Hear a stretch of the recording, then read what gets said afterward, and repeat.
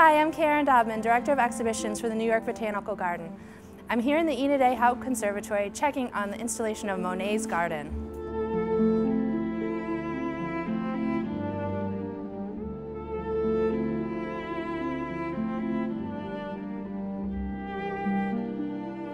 As you can see, we have all the set pieces in place.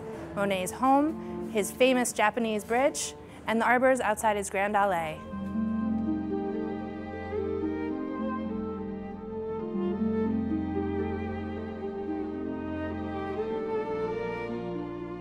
This new exhibition opens on May 19th. You'll have the opportunity to see the beautiful plants that inspired Monet.